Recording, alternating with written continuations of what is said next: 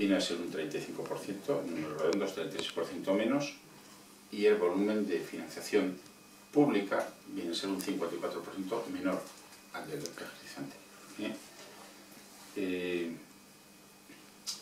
el futuro en ese sentido va a ser más incierto porque, bueno, pues porque se van sumando de alguna forma distintos eh, financiadores públicos pues a la política de ajustes pues, derivado, ya lo sabéis, de todo el contexto de crisis, de